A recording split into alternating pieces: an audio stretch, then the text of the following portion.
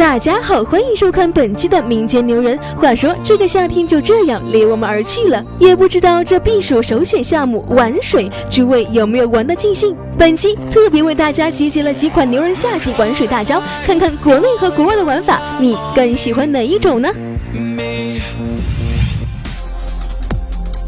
鉴于夏天太热，常驻水中的梦想可能不现实，不过偶尔潜在水里小酌一杯倒是可以实现了。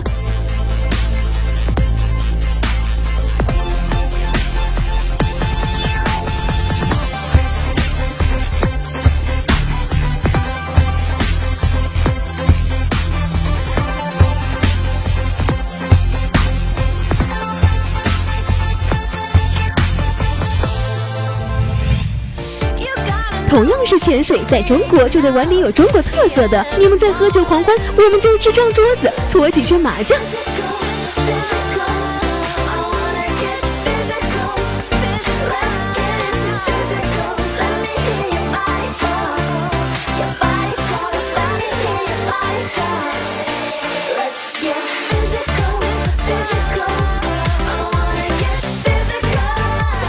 降温解决了，这交流还是有些困难啊！建议下回再配几个防水无线电，就妥妥的了。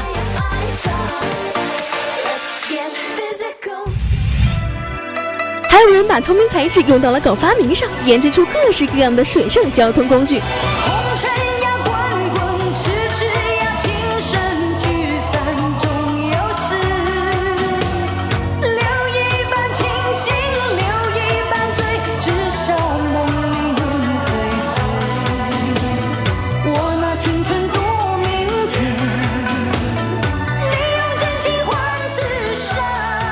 且不说这水上自行车的行走速度，光凭小伙子的钻研精神，还是给个赞吧。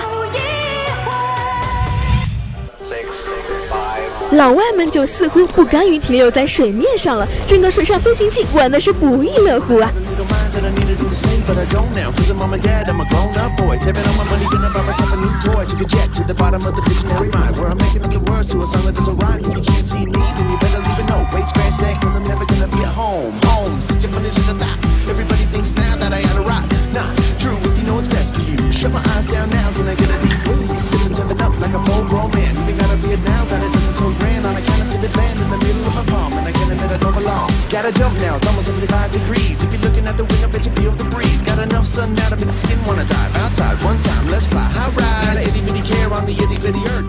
你们这是演水上钢铁侠吗？真心是帅爆了！